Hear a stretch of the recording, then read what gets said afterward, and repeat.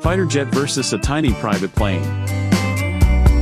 Cutler 1-1 flight traffic, left basis for the parallel, a tiny little Grumman.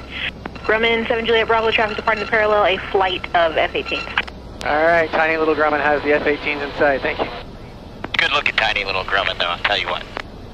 Yours is good looking too. Thank you very much. Tower concurs. All right, we're going to race some F-18s.